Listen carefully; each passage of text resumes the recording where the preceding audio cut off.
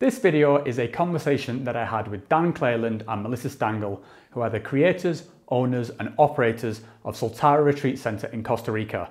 And before that, they built and ran the retreat center called Pulse, which I visited in 2017. So, yeah, these guys know a thing or two about how to build and operate retreat centers. Now, I've been wanting to sit down and talk with Dan and Melissa for a while because I think the story of people who build these psychedelic communities in remote locations and cultivate these relationships with local people from a completely different culture as their own is absolutely fascinating. The fact that they did this twice extremely successfully in the space of about five years is pretty mind blowing. In this video, we talk about how you go about building one of these centers, why they actually did it, we talk about psychedelic integration and why it's so important, and given the current situation, we also talk about the effect that coronavirus has had on the ayahuasca community and how we might have to adapt to it. One question I often get asked is how did you pick which retreat to go on and how do you know which is the right one for you? And my answer is always that you should gather as much information as you can and look for the place which resonates with you the most. And that's how I ended up at Pulse in 2017. And a big part of that was down to these two guys. As you'll hear, they are very humble, grounded, they're clear and rational with what they say, and so that I felt comfortable that these were my kind of people. And I was right, and I had an awesome time at Pulse, and I will be forever grateful to Dan and Melissa for the part that they played in my own journey. And yes, before anyone points it out, I am fully aware that it says Rachel in the corner of the screen. That's what you get for sharing a PC with your wife. Anyway, without further ado, I bring you Dan Cleland and Melissa Stangl, Psychonaut entrepreneurs and the owners and operator of Soltara Retreat Center. Enjoy. Okay, so I'm here with Dan Cleland and Melissa Stangl from Soltara Retreat Center in Costa Rica, and it is a pleasure to talk to you both. It feels like it's a long time overdue. I've been sort of meaning to touch base with you guys for ages, and also it's I mean it's a real pleasure for me because both of you, perhaps unwittingly, are like the main factors that I'm I do this this YouTube channel because oh, first of all, from your side, Dan, it was because after my first retreat with Pulse Tours in 2017, that really sort of kicked this whole thing off for me that I needed like a creative outlet. So that was your input. And you probably won't remember, Dan, but uh, you and I had a conversation when we are at Pulse because I, I was there the final week just before you handed it over to Arkana, and you'd flown in to, to sort of do a like a, a final ceremony with all, all, all the staff guys. I don't, you weren't there, I don't think, Melissa. No, um, yeah, I think I was. Um, but yeah, well, sort of I pulled you to one side and I was I was chatting to you for a little bit, and um, as, I, as I mentioned, I don't expect to remember, but I was kind of curious uh, about how you know you kind of balance this spiritual activity with this entrepreneurial spirit. And I just finished reading your book. I'd sort of like I'd blitz through your, your uh, drink in the jungle in about two days. So yeah, you, you were sort of, you've both been like a real inspiration to me. And uh, yeah, from, from you, Melissa, it was it was that positive encouragement that you gave me when you were first starting Soltara and you asked for some video submissions for your letting go campaign and I sent I sent in like a short piece and you said, Oh, that's really good, you should do some more of it. So it was amazing. I remember that. put some effort into it. I was like, can we just like put this on our website, please? Yeah, I mean, I mean, it was it really it was it was something I used to do a lot when I was younger, and then you kind of you kind of kick-started that uh, that realization of how much I enjoy it. So yeah, I really did want to say like a big thanks to you guys. It's really uh, you've really sort of, I say, have been a, an inspiration to me. But maybe a good place to start is just yeah, if you, if you could just like introduce yourselves to my audience, like you know who you are and, and what do you guys do. Yeah, so um, my name is Melissa. I am the COO and one of the founding partners with Dan um, of Soltara Healing Center. I come from the corporate world. I come from a science and engineering background. Um, I kind of did my stint in that world for a little bit and really wanted to kind of expand the my horizons and I think that there was a lot for me to be learned as I entered into the world of plant medicines for the first time, which was back in 2013 uh, with Dan on one of his very first trips down in Peru when he was kind of just starting out. And uh, we just ended up connecting um, through through Reddit, actually, through an online forum. Mm-hmm. And uh, that really opened my eyes to just the possibilities of healing in a wider context. I was doing cancer cell research and I was considering doing medical device work um, on the engineering side, but um, I just really felt like there was something missing in terms of um, that approach to healing. Um, so that really opened my eyes. I went back to the US and I did work for a corporate job for a couple of years. Um, hated it exactly as much as I thought I would. and uh, within the span of those two years, Dan uh, actually started his kind of going full time with the trips that he was running and then actually opened his own center, which you alluded to, um, Pulse Tours.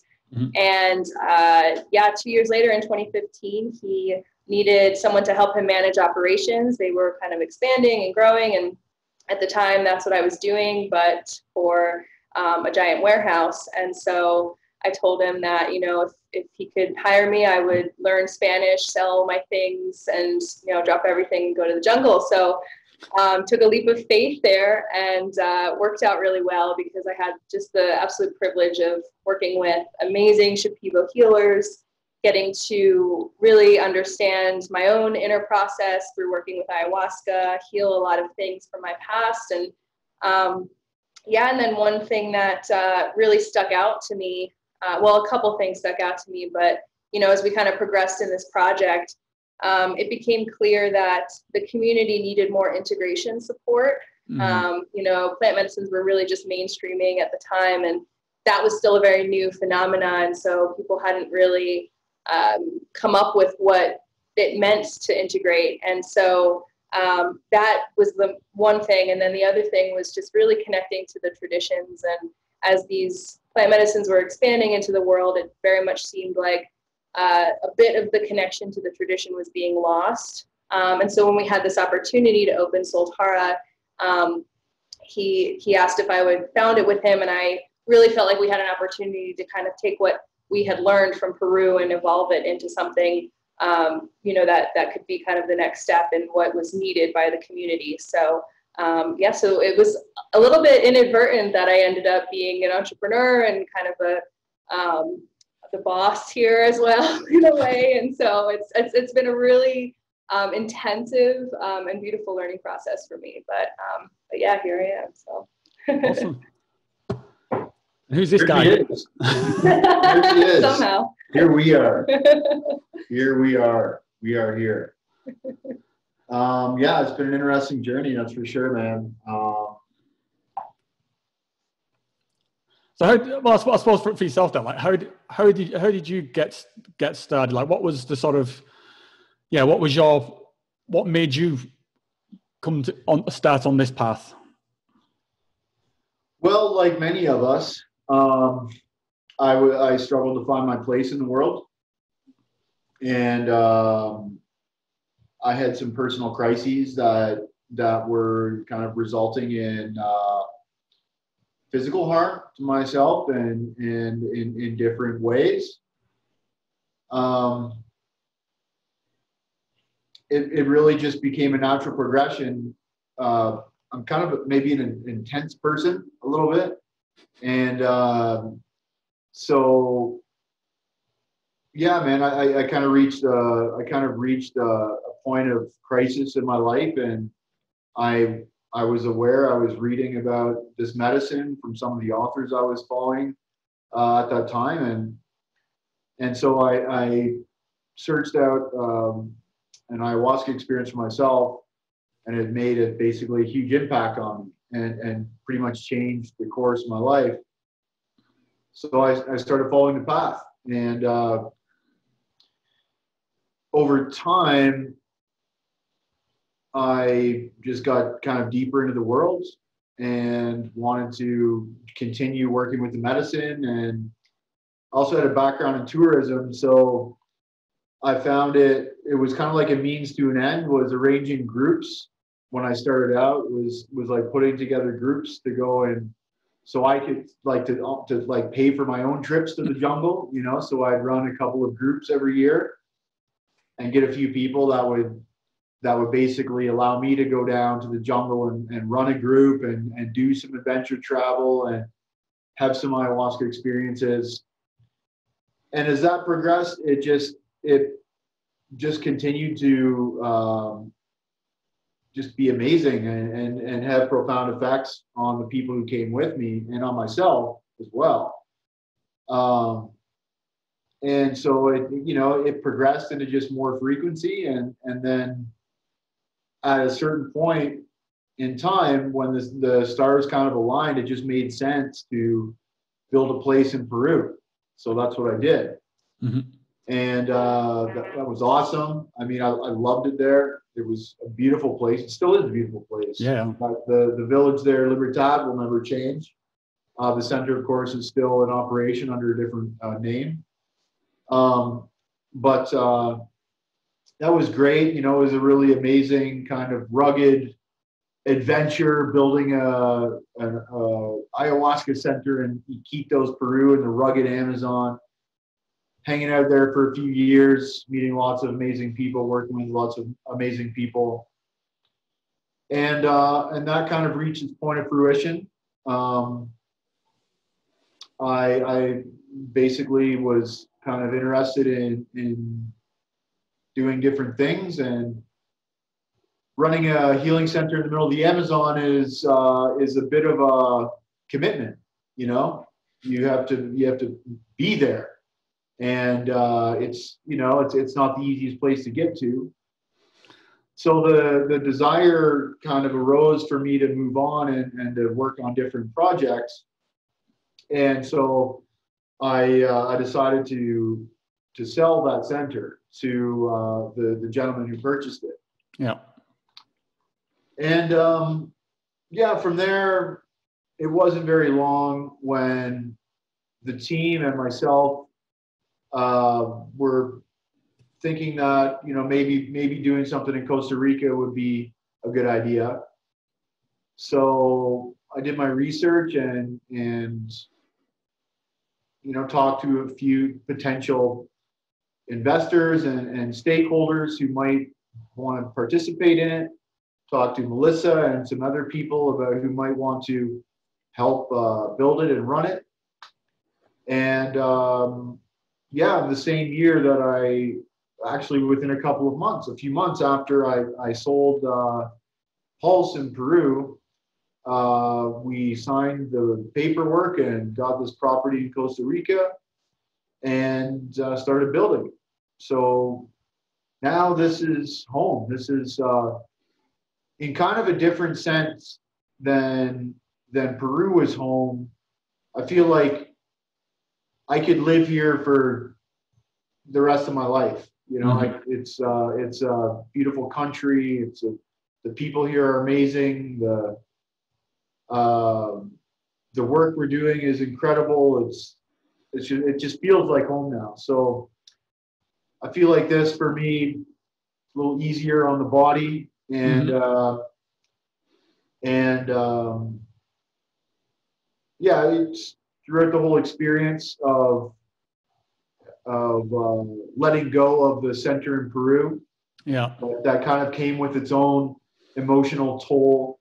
You know, uh, all that loss and uh, all the special times we had there, and, and all the special people we worked with there. It was uh, it was I grieved you know, when I when I when I when I left the jungle, I did spend a, uh, a period of time grieving over the the, the the the feeling of loss over that. So we kind of took a different approach here. We we really wanted to design not only a retreat center but a lifestyle here yeah. that was feasible and enjoyable for the long term. So you know, we've got this really great family, this little Soltara family here right now. Um, my, uh, my, my best friend from childhood, his name's Jesse. He's here running the kitchen and taking care of Melissa. Um, and, uh, you know, I've got a, a, a, beautiful, intelligent young lady who I'm dating here from Costa Rica, who uh, I'm really having a, a great time with. And we have really, really talented people that are here working with us, including amazing uh, healers, Shipibo healers who come up from Peru. Mm-hmm. So we kind of have that same uh, amazing Shipibo healing experience in, in Shipibo style in the Maloka here. Yet we're just a few meters from the beach and we can hear the sounds of the waves at night when you're in ceremony. And, you know, there are roads and cars and uh, you know Yeah, it's nice nice. things.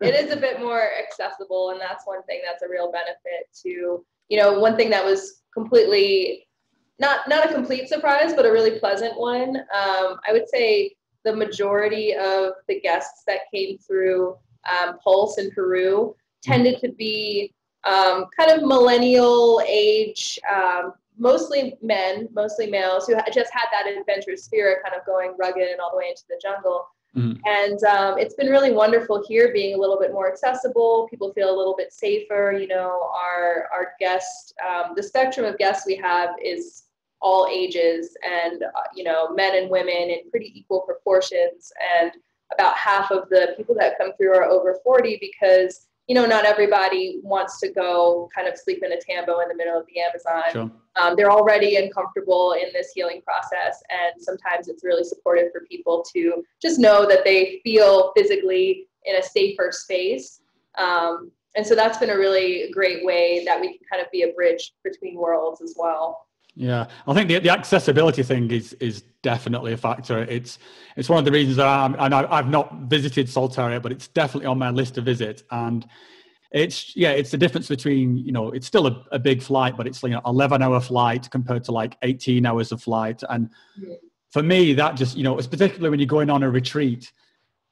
You get to Peru and you, just spend days recovering from the travel, whereas you know that would kind of. Much shorter flight to Costa, Costa Rica. I think that's that would be the it's a tipping point which which will, will, will get me there shortly. But anyway, there's a lot to sort of unpack there with what you just said. So, but I think before we sort of get into that, if I could just sort of touch on just the current situation around like, yeah, this thing that's towering over all our existences at the moment. How has this coronavirus situation sort of affected you guys, and what's the sort of what's the story there at the moment? Yeah, well, I mean, it's Oh, that, uh, that was a that was a look at the sideways look at each other. it's been a journey I, I can As imagine. i'm sure it has for so many people right Yeah. I mean, it, it, it basically it, it, it came up in what felt like an overnight speed, right? It was like in the first week of March, we were kind of aware of it, but not really too worried. And then the second week of March was like, okay, people are starting to freak out a bit. hmm And then, like in a, a couple days after that, it was like, okay, we got to shut down right away Yeah. and in- indefinitely. Like, you know, the border's closed. Costa Rica's closed. Peru's closed.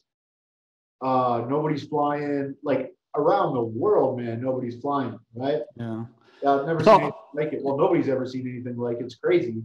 Yeah, I mean, I, was watching you guys. I thought did a really good job with the sort of communications and, and, and the transparency of the communication that you were putting out there, and it was kind of, it was quite heartbreaking to sort of to be reading like the, the messages that you're putting out in real time as you're going through this kind of period of like, okay, is, this this is something, but I think we're okay to kind of like okay, you know, we need to do some due diligence to like okay, it's closed, and it was like oh yeah, I really felt for you guys. And uh, so, I mean, what, so what, what's the situation? Everything is completely closed, but are, you- are you kind of got like, is your staff still there Are you at the- center? Are you still operating in a kind of skeleton way or?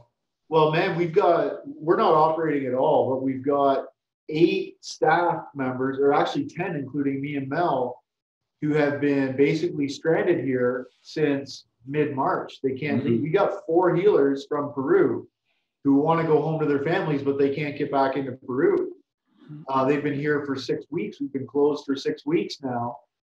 And, um, and so everybody's just kind of hanging out. I mean, we're having a good time we're Mhm. hanging out. We're spending lots of family time together.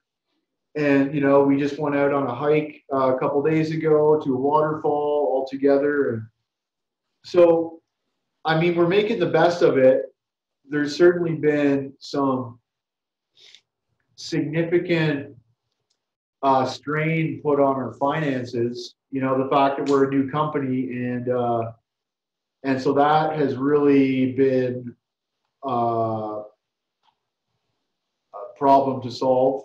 Mhm. Um, but at the same time, we're problem solvers, and you know um, that's what we do for a living: is solve problems and So take ourselves out of disasters. So you know, certainly the uncertainty of knowing, you know, everything seems to be changing and then kind of things people make you know plans governments say okay restrictions until this day and then it gets close and then they're mm-hmm. like okay and, uh, so i mean it's all you know i would i would be doing the same thing now taking it kind of a couple weeks at a time um, but it does make it hard to plan for you know how we're actually going to stay alive through this um, but the there is some uh, some realizations i think right now there's a lot of things that are coming to light and a lot of problems in the world. I feel like a lot of trauma is coming up, and mm-hmm. um, you know, I know our services are going to be needed more than ever on the other side, and so we're really doing our best to just stay alive, um, so we can be there, you know, when this is all over.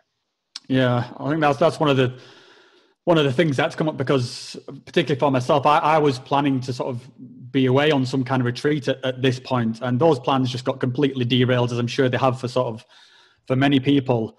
And yeah, no, no, at the time when people are needing this kind of this healing, this kind of you know stress has gone up from people's work if they if they're even in work, then yeah, and it's it's this kind of weird disjointedness of of you need this kind of healing even more, but you just know it's just not accessible at all. Yeah, yeah, and and you know we were just um, tuning in. TripAdvisor has been kind of running these webinars for travel industry and business, and um, you know, they they're basically saying, you know, it's we're not alone. I mean, the, they've never seen anything like it. The mm. entire travel sector was completely decimated, and all of the you know pieces that fall from that, and um, you know, it's not necessarily predicted to be one of the first things that comes back. And so, you know, my my fear too would be that we bring it back too soon and then you know it causes a second wave so yeah. If there's yeah there's definitely a lot at, at stake and kind of you kind of it's a lose lose really no matter what. So um, yeah. we're yeah trying to trying to make the best of it, and certainly we're in a, a, a nice place to quarantine. We could, we could be in worse places. yeah, sure. has, has, there any have you put any thoughts around sort of ways that you can adapt your business model to sort of I've, I've seen some of the kind of um, you know like this kind of telemedicine kind of things that people are doing you know where, where people are doing sort of like ceremonies over things like Zoom or, or over Skype, something like that? Mm-hmm. Is, is, there some options that there that you think are they're available to you guys? With I know you sort of with your entrepreneurial spirit, you're always looking at you know, you know at new options. The, what do you think that I mean, landscape looks like? Certainly, there's definitely opportunities. It, it's really going to depend on how long we're in this for. Um, if it's if it's going to be um, if it's going to make sense really to try and do that because um, if we you know if and when we do things we like to do them really well and so it's obviously not the same experience um, you know doing this type of work um, virtually but mm-hmm. that being said we are we are doing our best to just keep in touch with our community offer offer resources integration support but also just general mental health support we've got a bunch of content that's in the works right now, just being processed that we plan to release really soon, um, including an interview with the healers, um, which has been something that's been a, a, cool thing, you know, during the downtime is people um, just have a lot of questions about the culture. And, you know, it's not mm-hmm. stuff that we can always get all the way into during the retreat itself. And so, um, you know, just trying to like stay connected with the community that way, offer things. Um, you know, they were gracious enough to say that we can record some Icaros um, for the community as well uh, during the next ceremony that we do. So um, yeah, so trying to kind of just stay in contact, um, you know, on a larger scale. That's that's sort of it's a big undertaking to kind of shift the whole business model. So it is really mm-hmm. going to depend on kind of the length of time that we're in this. Yeah, it's just, it's just such uncertainty at the moment, you know, and. I, it's it's so weird to think that when like at the point when I first reached out to you guys to have this conversation, which was uh, yeah, just before New Year, we were we were in a completely different world, and that, that, we're even having these conversations in such, such a short span of time is just is just nuts. So yeah, I mean, I, yeah. obviously my, my heart goes out to you guys. I really hope you sort of manage to weather the storm, and I'm sure you will because I know you're both like I say very entrepreneurial.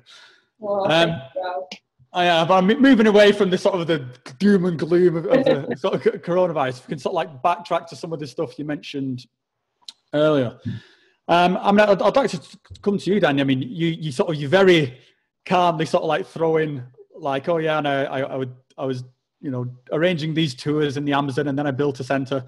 Yeah. These are all, huge things, mate. So I'd like to unpack unpack these a little bit. Casual. yeah.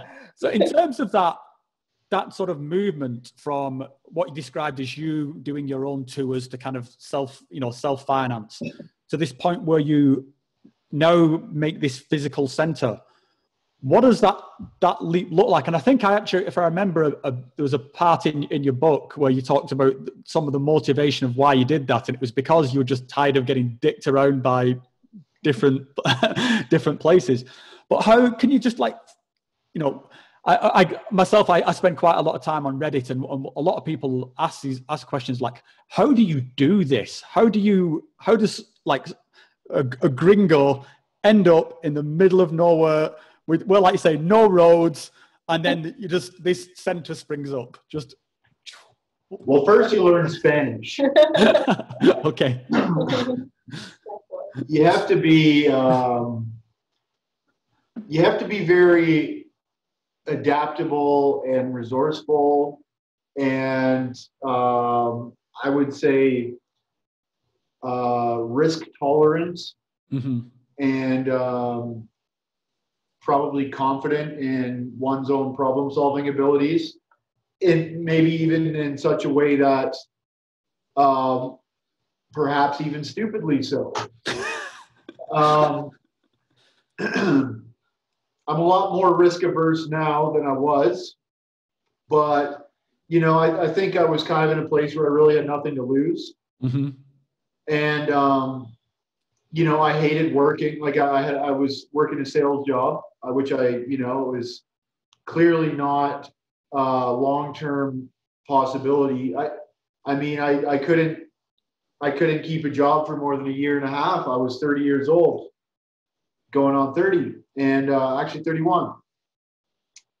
But um, yeah, the the actual straw that broke the camel's back there was I had um, I had people booked for a retreat uh, in uh, September of 2014. I have one guy booked, one guy who paid his deposit. And at that point, I was already struggling with the management of this job I was working. Mm-hmm. Um, I was uh, dating uh, Tatiana, who you probably met yep. from, from Pulse.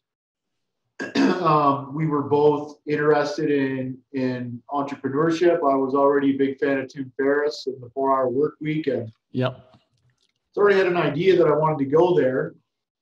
And uh, I was finishing a master's degree at that time, so I kind of had a little more confidence in terms of like, well, if I fail, I can get back into the workforce and, and, and make money back, you know. Um, but but the straw that broke the camel's back was I had this guy booked. His name was Emil uh, Karas, Emil Karas. And um, he paid his deposit. He was booked in for a, a September retreat. And this was in June. And the retreat center that we had booked for that retreat said, no, sorry, we don't have any more spaces left. Mm-hmm.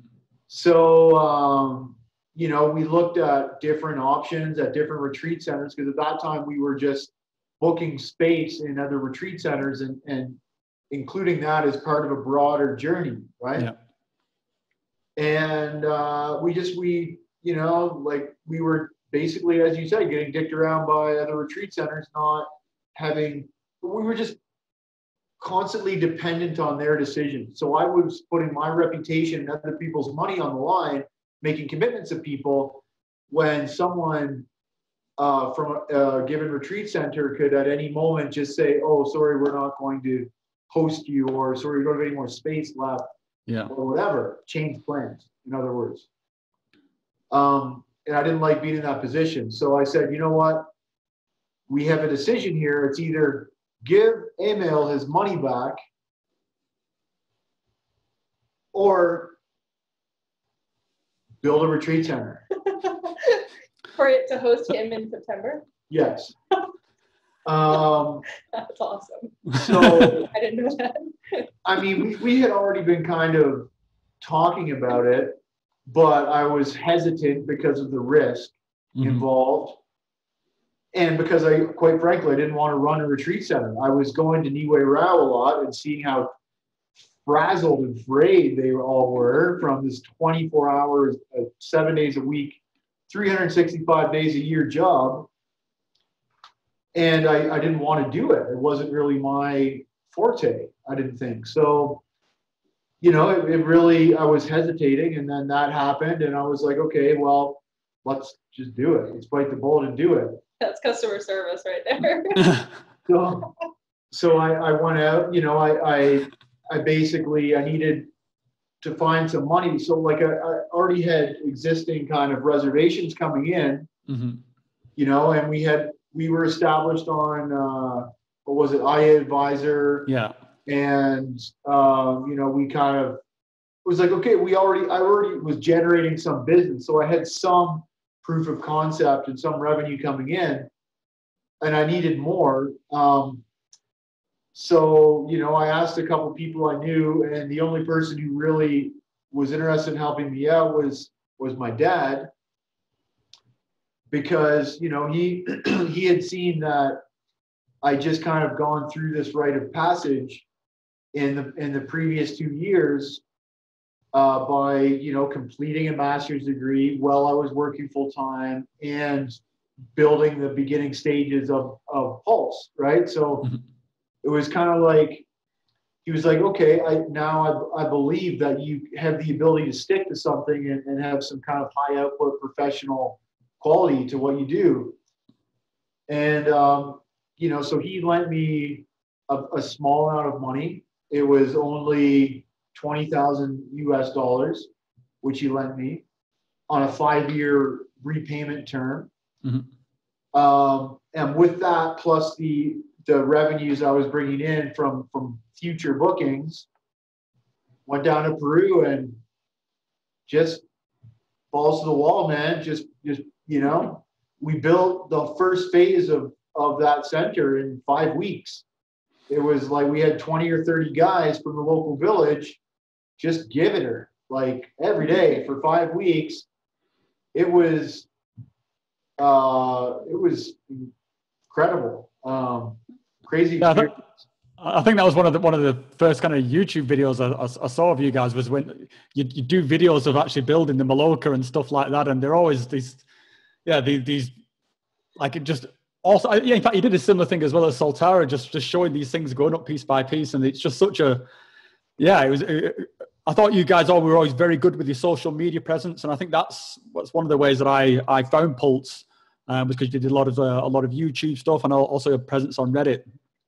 But just in, in terms of that, go, you know, going procuring, is this? I mean, is, is there some sort of like real estate agent for just going buying a piece of jungle land in the middle of I, nowhere? I, I, I went out to the village and talked to the mayor and you know he's in bare feet he went on a i went out there in uh, march of 2014 just as the water the high water season was kind of coming down so Mhm. that property was still flooded for the most part so we literally uh, I went out to the village on a boat. You know, it's four hours from Iquitos. Talked to the village, talked to the mayor, and we paddled over in a dugout canoe um, with the mayor in bare feet. He's like paddling with a stick over to the property from the village. And we just looked at the property. I took some video. And I'm like, yeah, this would be perfect. It's right on the river's edge. And uh, he's just like, yeah, man, you guys can come and build here. I didn't actually buy the property. He's just like, you can just come and build here.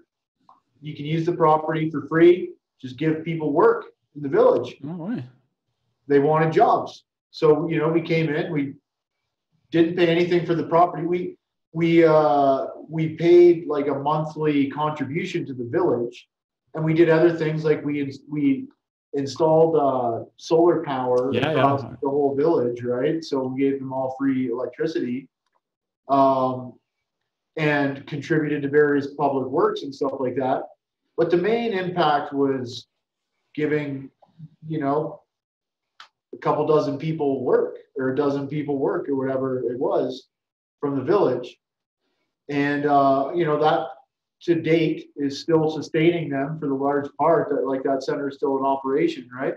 I mean, that's awesome. That's a, a, a real, you know, when, when a lot of people there's there's some kind of scorn against like the ayahuasca sort of tourism industry, and I think what you've laid out, and you know, I've I've seen it myself, the sort of the collaboration between what you built there and the village of Libertad, and it's a beautiful thing. It's I think that's something you, you know you, you can really be uh, be proud of, mate. I mean, and I am proud of it. I was proud of it. I am proud of it. I'm glad that what we built there is still sustaining that village, man. Yeah. You know, I love those people. I really, really do. I love the village. I love those people. You know, they're great people, great, honest, hardworking people, and uh, really, really friendly and nice. And and they, you know, they were a huge uh, part of of kind of my uh, of our journeys. Mm-hmm. You know, so yeah, no, it's great, man.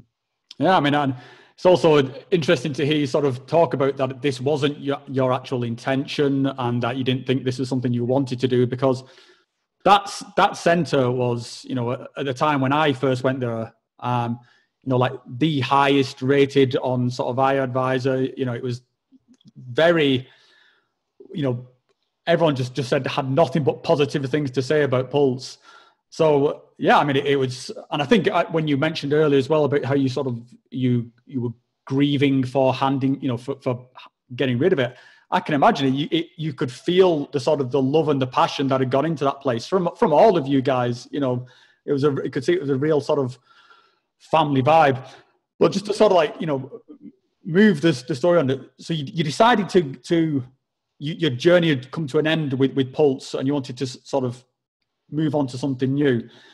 So at the time when you were when you, you sold it, you knew you, you, you, there was like a, a phase two in the works, and you knew you were going to go on to, to build something else. Is that is that correct? Sorry. I was going to say that you, you knew, but at the time you were selling Pulse, you, you already had the kind of vision in mind for what was going to become Soltara. Well, I, I didn't really intend on it um, in the beginning, but as the transition happened, it it just kind of became clear that you know, the, the, the, the team we had built uh, wanted to stay together, uh, in, in, including myself. So, mm-hmm. um, you know, it was like, well, okay, well, I, I can't undo that transaction. So I need to do something new. And, and you know, it, was, it actually all came from a conversation I had with my father was, you know, I was feeling some remorse for actually selling the place.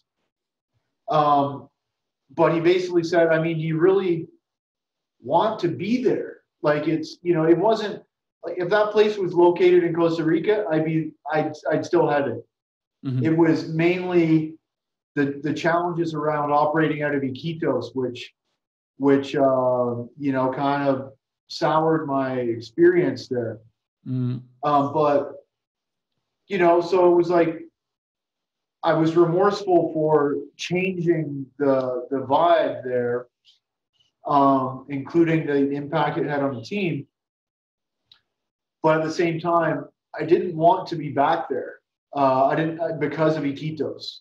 Yeah. And the only logical step, and, and this is actually my father's idea, and I was resistant to it at the beginning, was, you know, why don't you go and do something in Costa Rica? It's a nice country, you know, it's easy to get to you know. And it was actually my dad, as I was humming and hawing about that and being resistant to it, who searched up the property that we ended up buying in like five minutes the first on his laptop. And he's like, What about this property? It was the first one he showed me. Turns out it was the absolute perfect property. So perfect. As soon as I saw it, I'm like, Oh, maybe that would work. Yeah. And then, so on the one hand, you've got a Iquitos, they're just like this absolute epitome of chaos, and in the hand you've got this beach halfway weighing the two things up. Exactly. I remember visiting the property for the first time too, several months later, and uh, there was this just perfectly. It was like kind of right on the edge of a cliff, and you know you could like walk down to the beach, um, and like kind of right at the tip there was this open clearing with just surrounded by trees. You could hear the ocean waves from it. There was like this big, beautiful tree kind of overlooking. And I just remember looking at Dan and being like, this was made to have a Maloka on it. Like, you can't think of a more perfect location. Mm-hmm. And it was like a F yes at that point. Yeah, I mean, I've seen some of like some of the videos. I'm, I'm good friends with uh, uh, Shube, who I think is one of your investors, oh, I think. Yeah.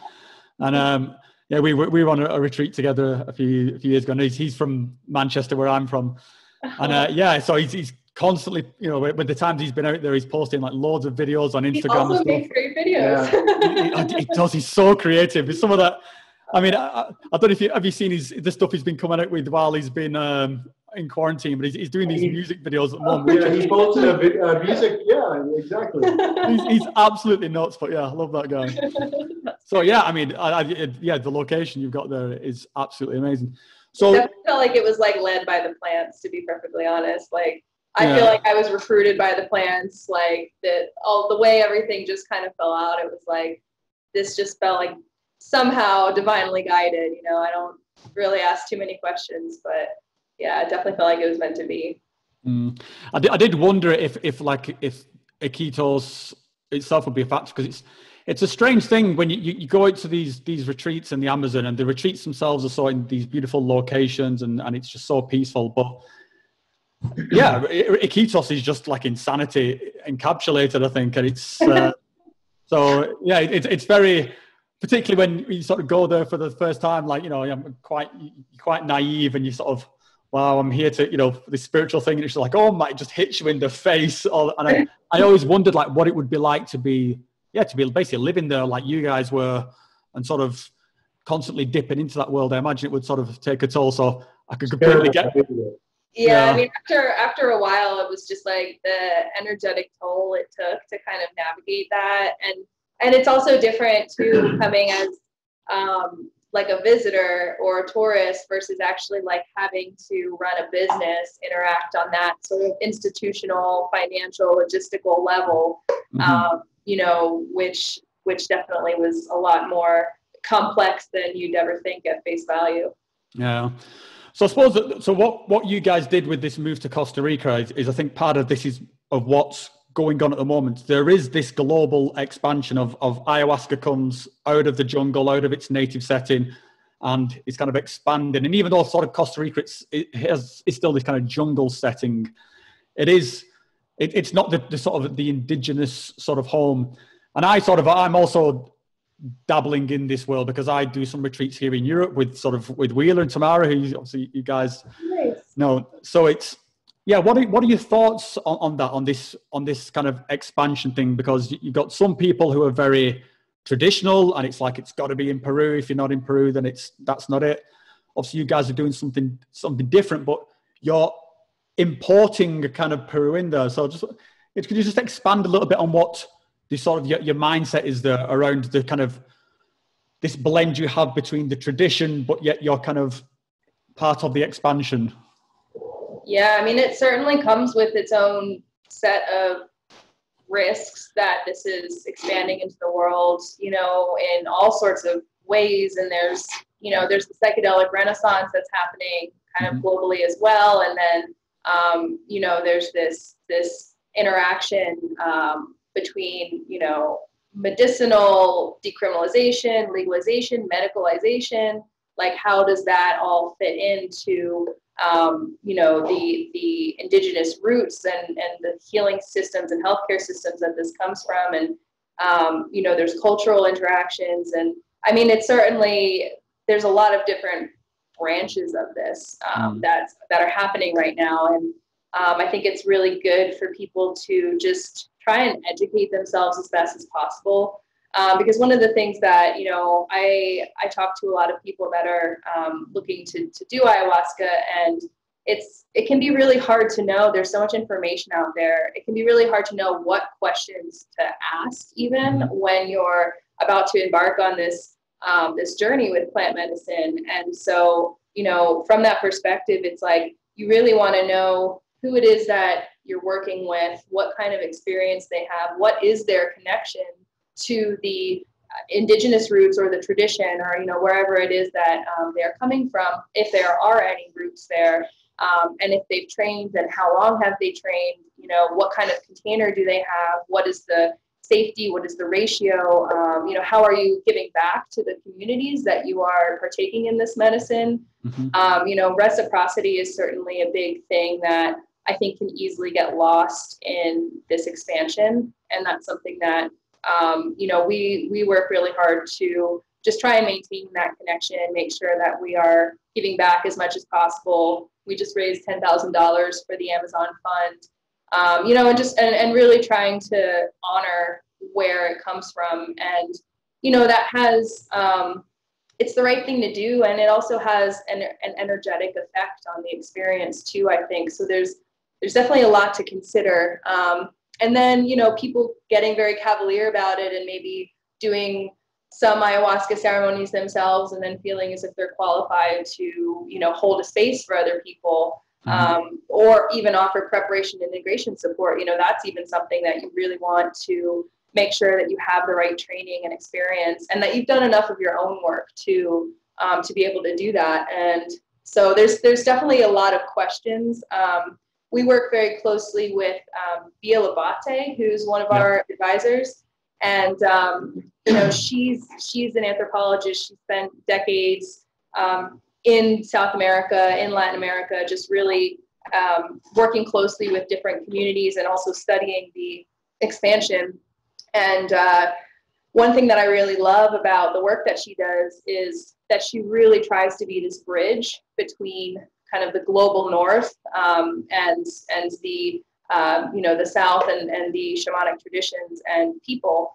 And so, you know, in a lot of ways, I, I try and learn as much as I can from her um, and, you know, really put into practice those things so that we can be more of a bridge, you know, like we're very careful. We don't use the word authentic on our website. Like mm-hmm. what is authentic? Well, you know, that, that's kind of a buzzword. And even um, even tradition, you know, we're not traditional. We are guided by Shipibo healers, but you know, if you want the tradition, you're not necessarily going to have the same level of support um, that you know more centers that cater to you know the global north would would have in place. You know, we work with psychotherapists. Um, so so where we where the medicine work and the energetic work comes in, we really leave that to the healers and they set that space. We don't offer any other energy work besides, so, you know, while they're while people are very open and undergoing this work with ayahuasca, um, we actually initially started offering massages, but then we actually stopped doing that because the healers mm-hmm. were like,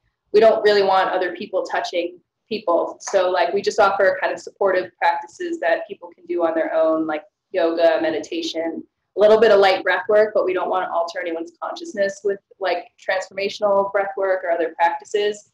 Um, so you know, tr- it, is it's an interesting line to walk, you know, and I I definitely um, try as much as I can to um, see how we can serve the movement in the best way possible and be that bridge um, where you know when it comes to the medicine space, that is something that we're very you know guided by the Shipibo tradition, and then where it comes to people integrating afterwards um, or finding practices that can support them when they go home.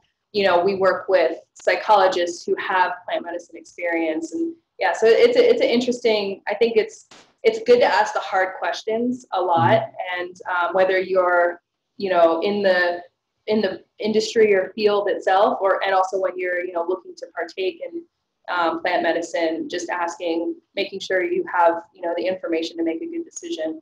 Um, mm-hmm. so there's a lot out there yeah, I think that's that's one of the things I would say that you guys do really well there at Soltara. It's it's not, it doesn't come across as you're just trying to imitate what's going on in Peru, in Costa Rica. It's it's got its own identity. You know, you have these things with these kind of guest speakers that I know you're having with your sort of you know Dorian Yateses and your sort of uh, mm-hmm. Brian Rose and stuff. And it's even the the center itself. It's it it's got this kind of this fusion look of the, the you know the, the okay, I shouldn't use the word traditional, but this kind of jungle natural setting, but it's very modern. It's very sort of, you know, it's, mm. it's, it's, it's got its own sort of feel to it. So I think that's, you know, that balance that you want really well. And also along with the kind of the communication that you put out. I mean, I mentioned earlier about the sort of the emails you put out. I've seen you guys doing like symposiums and stuff like that. You're very, transparent in, in what you put out there. So I think as part of that bridging process, you guys sort of do really well.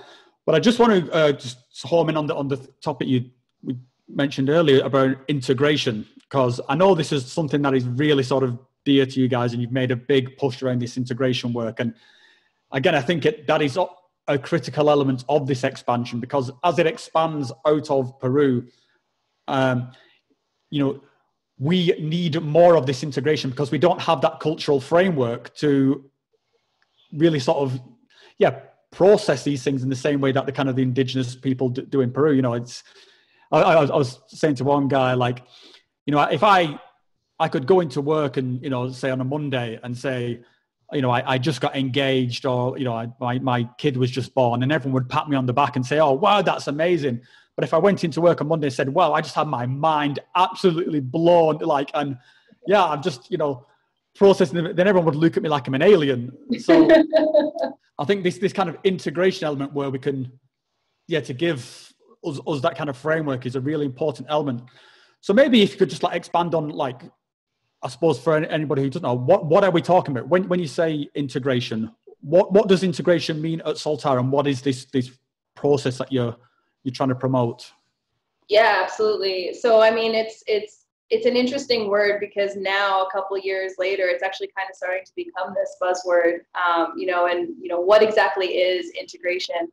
Um, you know, we're always integrating. We're always taking the experiences of our lives and seeing how they fit into our identity and our choices, and then how we move forward from there. Um, so integration of there's kind of two paths to this. There's integration of the self, which is the, the purpose of healing, really, um, as you know, as, as we kind of um, approach it. And then there's also integration of the experience when you go back home. And so, how do you take these lessons where your mind is blown open? You have this, you know, potentially, you know, deeper connection to something, whether that's yourself, your higher self, a divine power, um, you know, the plants, and you know, maybe there's insights, maybe there's you know things revealed within you that have gotten really stirred up, and you're not necessarily sure what to make of it, and then you know you have this kind of specific container where that this work occurs and, and it's very deep work and you're very open um, and then you're you're put back into your regular life, you know, with potentially the same surroundings, the same people, you know, um, the same temptations, how do you actually make something of that experience? Um, and that to me is kind of the integration work that we focus on, you know, taking that um, experience and, and translating it into positive change back home that really serves you. Um, you know, that can take, that can, it looks different for everyone and it can take a lot of time. Um, one thing that you know we really stress at Soltara is that ayahuasca is not a panacea. It's not a silver bullet. You know, we are not in the purpose of saying that you're going to feel absolutely amazing as soon as you leave. Um, sometimes it can take time to feel um, better. Sometimes you have to feel worse first. Um, you know that that's actually part of this uh, cleaning process. You know, a lot of deep energetic work that's being done. So we really try and ground people in the reality of that potential and manage those expectations um, pretty much from the time that they book the retreat, you know, when we're sharing information and, you know, even before they book the retreat.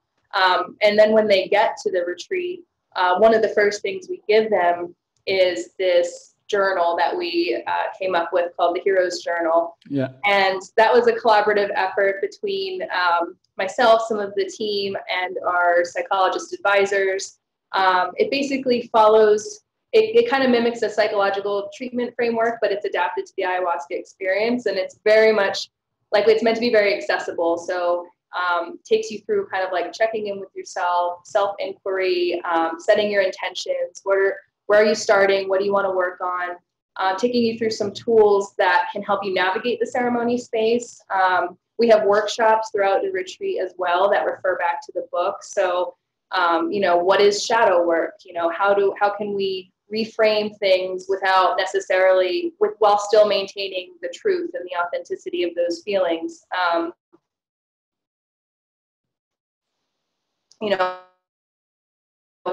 healing is not necessarily a straight line it's a spiral you know so different concept of the book is kind of a uh, a build your own integration plan so you know, our our purpose is not to tell you how to integrate. It's really just to present as many resources and tools as possible that we found helpful that you know you can take back with you um, that it's it's kind of like what we wish we would have had yeah um, to really be like okay looking at your immediate integration you know how like what do boundaries look like? What are boundaries? How do you have good boundaries? How do you know if you do you know?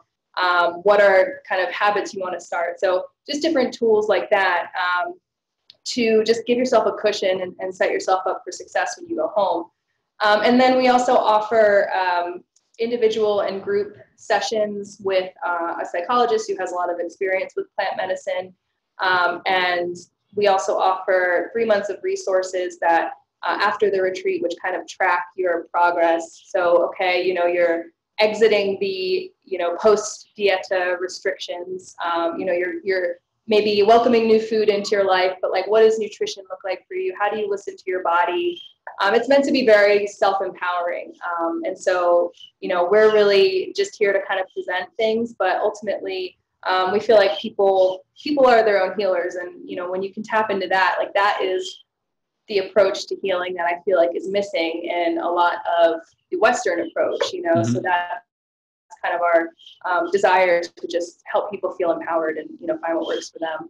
Yeah, I think that that that framework that you just talked about that is I think is missing from a lot of of ayahuasca retreats, and certainly what what I noticed is you get a, a lot of people who aren't prepared for that. What you talked about of that, you know, things getting more difficult after you leave the retreat, and they so everyone wants to have this big life changing experience, and and they sort of they lose a bit of the focus between what's the afterglow of the medicine and then yeah, this kind of what can be uh, like a roller coaster, almost depression that can sort of hit you afterwards if if you and then you sort of feel, get the feeling like oh I've done something wrong or it's not worked or whatever and so yeah I think that yeah. the the honesty of of that approach is is uh, yeah very very and valuable. Then that's so powerful with the right framework too because then instead of like my like I I personally went through this I know people very close to me went through the same thing where you know they they had a bit of an afterglow period and we talk about that too you know that that is a thing you might be more sensitive you might be in a state of euphoria you might not be you know who mm-hmm. knows but um but that then after that you know it's possible that you can actually feel feel worse. And you know for some people that can trigger these these deeper um, frameworks within the narratives that they've been holding that oh did i do it wrong? Did i fail? Does ayahuasca not like me? You mm-hmm. know am i not good enough to get the healing? Do i not deserve it? And you know when you're if, if you kind of don't take the approach and aren't able to kind of step outside that and be like oh this is helping me identify these narratives that have been running my life and maybe this is the chance where they're actually coming out and I can reassess them. But if you don't have the the framework or support system to do that, you can kind of just go back into those, you know, habits patterns and then it can be, you know, it can be destructive. Um, and so yeah, definitely it's about, I think, tempering a little bit of those um, expectations and then just giving people the tools to be like, I can identify that and I'm outside of it now, so I can work with it differently. Yeah, I think it also highlights just the sort of the difference between like a retreat like you guys are offering and this sort of DIY approach. And you see a lot of people who sort of criticize retreats as being just some sort of it's it's just rich dickheads wasting money, you know, getting high, but they kind of fail to see that you're getting this. There is a full care package around this thing. It's not just yeah paying to get high for you know for a week or two. Right. And, and I think that that's how you guys carry that on Pulse retreat. Again, I think is something that's missing from a a lot of senses. So it's a really cool thing. I am I am a conscious of the, of the time for you guys. I did put out uh, some what I was going to you know I was doing this on Reddit and I got some sort of quick questions back. So if you can give me sort of ten more minutes, I'll just fire some quick questions at you from uh, from my Reddit users. Sure. Um, yeah, so, Reddit. So, form is that do you have a protocol for handling medical emergencies? We do. So, we are uh, 20 minutes away from a 24 hour clinic. Um, which is really great. And so, luckily, we've only had uh, one person slip and uh, hurt their head that we've had to use, but we have a fully stocked medical kit on site. Um, and then our intake process is actually one of the strictest intake processes that I've seen, um, mm-hmm. which which is really great. So we we collaborate with um, a medical advisor as well as a, a psychotherapist um, when we screen people, and we really try and get a full picture of um, people's medical history and any possible medical risks or contraindications which could present any problems with uh, working with ayahuasca tapering schedules, things like that, um, that need to happen, oftentimes under doctor supervision. Mm-hmm. Um, and, you know, if people are, if there's any sense that there might be some um, contraindications, uh, you know, what we'll do is we'll, we'll refund the deposit and help them to set up a plan for, um, okay, we'd like to see you work with a therapist. We'd like to have your therapist just get in touch with us, you know, things like that, and um, kind of build out a plan um, so our intake process really stops um, most of the risk, I would say. Um, mm-hmm. and then that being said, we're, we're connected to the local clinic and, um, you know, we are, we always have an emergency car on site and um, yeah, just a, a, logistical protocol for that. if well. there's ever anything really serious that goes beyond the local clinic, I mean, we're just a few hours drive away from a top notch private clinic in San mm-hmm. Jose. Yeah, yeah easy to get to. The, the healthcare is actually quite good here. Yeah. Um, I don't think the same could be said for like the middle of the Amazon jungle. So definitely a more accessible place. yeah, that, that was actually one of, one of the times that I was in the Amazon and I was having a really difficult night. And that was the kind of thing that came to me is like, what whatever happens to me now, I'm about I'm probably 12 hours away from anywhere. you know, even if they called the boat right now, I'm still like it's like yeah. hours for the boat to get here, four hours. So yeah, I was really freaking out. Yeah. uh, um, so j- just back to that sort of what I mentioned before about you know the people who are against the idea of paying for something like ayahuasca or that even that the idea of paying for spiritual healing is wrong. Just in a, in a sort of a nutshell, what, how would you address that sort of comment? Yeah, so I mean, in general, you know, healthcare is healthcare, and what essentially the level that the that the healers are that we work with, um, you know, the level of training that they go through. I mean, they really dedicate their life mm-hmm. to this, um, and you know that that is something that it's like you wouldn't expect a surgeon to give his services for free. You know, after they've spent years, decades, really mastering their craft.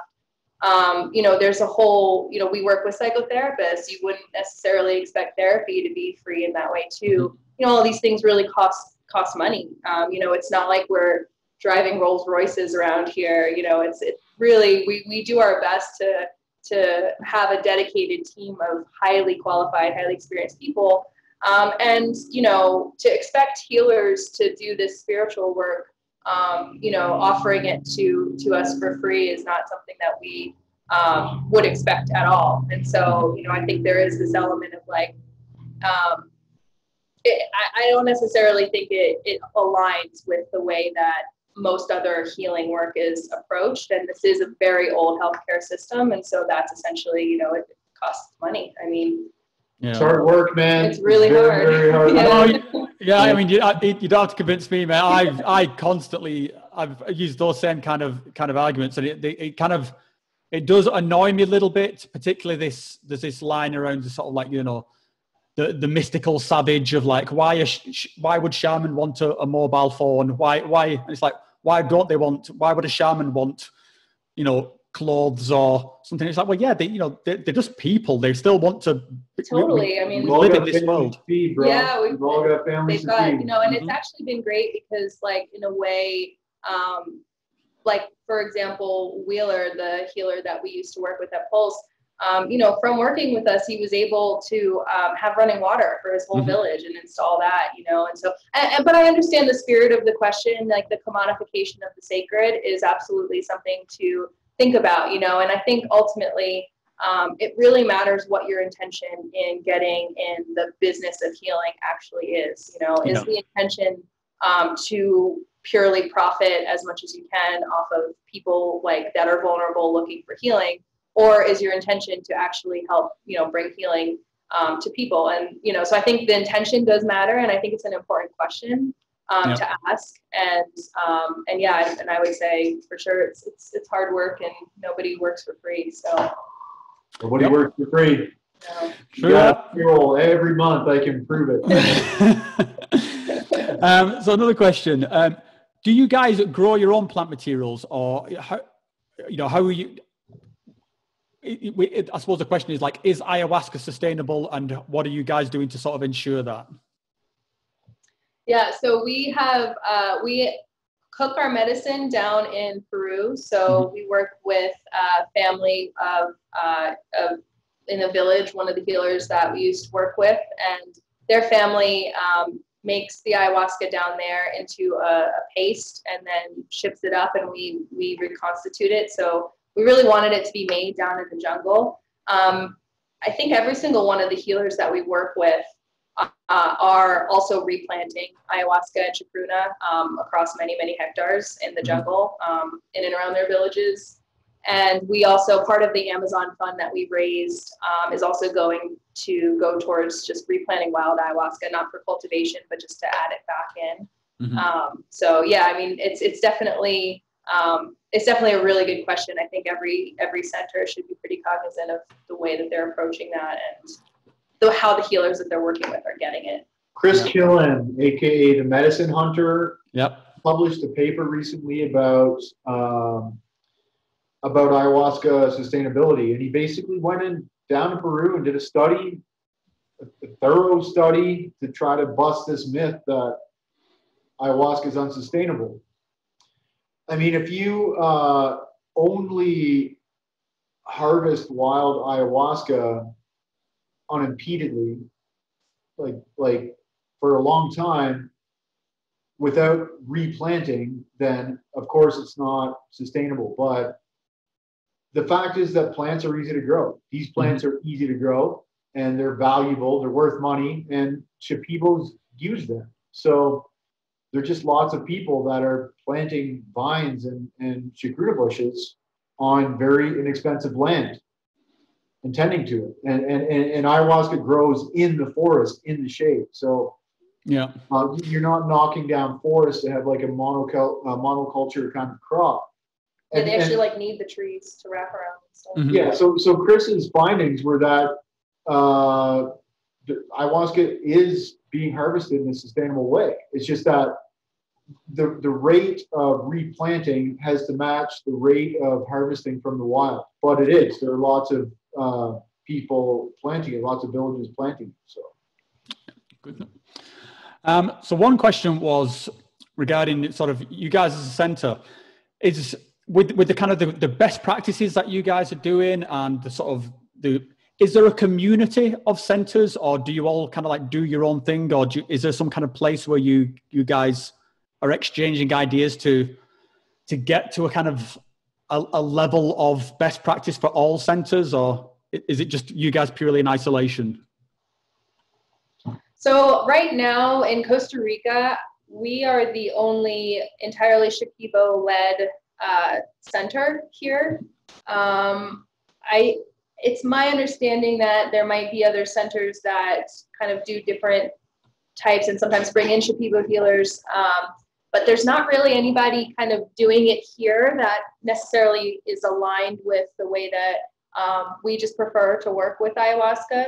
Mm-hmm. So um, yeah, so in terms of the community, I mean, I think it's it's a place that is growing in terms of um, medicine circles and, and centers and retreat centers coming here.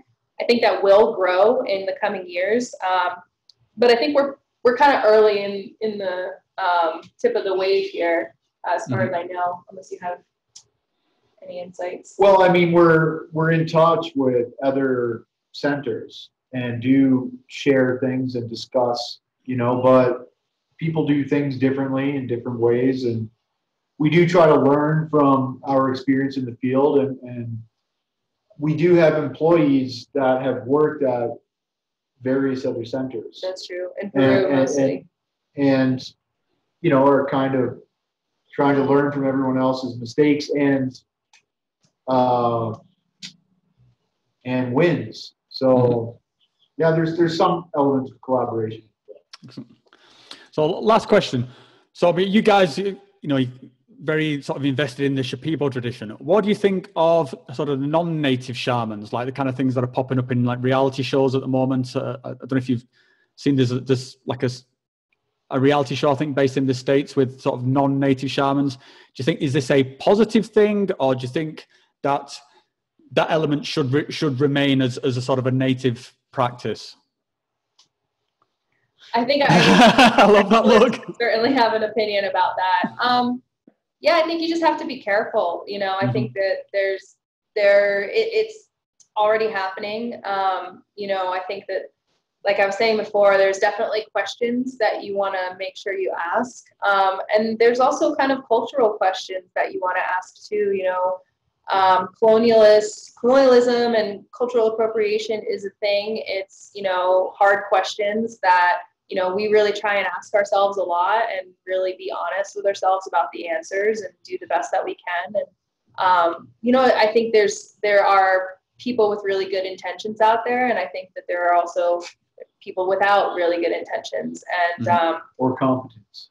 Yeah, and, and, there's a safety factor, of course, right? Um, yeah. You know, I was actually just listening to a um, a uh, conference uh, uh, session from a uh, someone from the one of the Brazilian um, tribes about ayahuasca, and uh, this was in via Psychedelic Liberty Summit, which highly recommend everyone watch the videos on Chacruna's uh, YouTube. They're they're all online now, um, and one of them, I wish I could remember her name right now, um, but uh, she she was like this whole concept of neo shamanism is crazy to me mm-hmm. because you know we people like we dedicate decades of our lives to even do the self work first. And um, sorry, there's just a plane. Tough times, man. but um, you know, the, this whole neo shamanism is very uh, interesting concept to her because um, because you know you're like she's like my grandfather is a shaman, but he's 105. Mm-hmm. Like he's not like he, this is like a, a 60, 70 year practice for him that he's really dedicated his life to. And, you know, when people just kind of do a few ceremonies and, you know, call themselves a shaman and think that they can run circles, like not only is that really unsafe, but to her, it's very disrespectful to yeah. their culture and tradition. And so, um, you know, I, I'm not in the business of saying what anyone should do, but I do think there are hard questions, and I think it's really good to just be informed um, about the culture and tradition before you kind of enter and open yourself up to this world because um, it's a complex one. The first uh, question should probably be: How many years have you spent dieting in the Amazon? Mm-hmm. How many diets have you done? You know, what trees have you dieted? What plants have you dieted? Yeah. yeah. Depending on the tradition, yeah. Yeah, I think it, it's it's it's.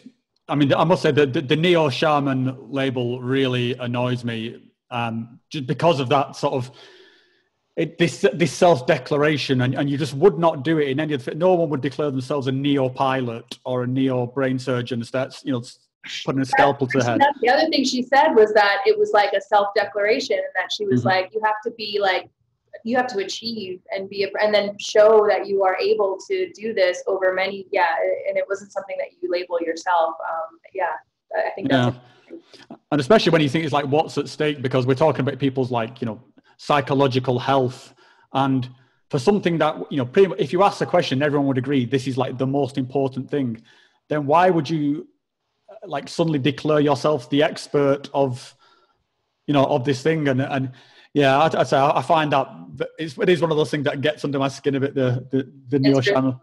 Sure. Yeah. Yeah. Absolutely. Well, guys, I mean, you've been super generous with your time, so I, I, I won't keep you on uh, much longer. Just before we get off, um, is there anywhere you want to sort of point people towards if they want to keep up with what you guys are doing or what's happening at Soltara? Where should people go look? Yeah, absolutely. Um, you can check out our website, soltara.co, um, and you can also search Soltara Healing Center on Instagram or Facebook. I think we're on Twitter too, but Instagram is probably our main. Um, we got lots of beautiful pictures to share. So we try and do that regularly. Um, but yeah, we're, we're, we're keeping people updated, you know, as this thing progresses. Um, we've hold off, we've held off on taking customer bookings right now for at least the next um, little bit, but we are hoping to um, just get back get back online very soon. So um, yeah, we're still we're still posting on social media, so definitely find us there. Yeah, well, you I'll put call Melissa directly at 1-800-297-1730. Could also do that. well, I'll put some links in, in, the, in the description below, and uh, yeah, I'll sort of I'll, I'll, certainly be following what, what's happening with you guys and, and the current situation. Thanks, Robin. Thanks, thanks for everything that you do too, and you've been just such like such an awesome person to have in the community all these years. So really, really appreciate your support and all of the work you're doing as well. Oh, likewise. We, we also do uh, regular mailing list updates. So if people want to join the mailing list, that's really fun too. So. Mm-hmm. I just thought I just just want to mention. I, I am I'm not going to let you off the hook, Melissa. You still owe me a book, so that's actually it's hilarious. I was just writing this morning about how we this is like our new approach to healing. Um, yeah, it's Soltara has taken over my life the last two years, but all of a sudden I have a lot more free time. So hoping to uh, have the first draft done this year and then looking at 2021. I'll, ex- Sorry, I'll the package so long. I have a hard time doing things if they're not like perfect. So that's it, been a process. I, th- I, think given what you guys have accomplished, it's pretty understandable. And also, I think it's probably worth dropping in, uh, you know, the documentaries and the sort of the other content that you guys do and your collaborations that you do with sort of, you know, with London Real and stuff like that all really great work. I'll, I say I'll put some uh, some links in the description below. So thank you so much for your time, guys. Thanks for everything that you're doing. And yeah, I'm a huge fan of what you're doing, and I'm I'm sure I will be out there at some point once all this uh, this craziness is finished. Oh yeah, you're always welcome, Rob. Thanks so much.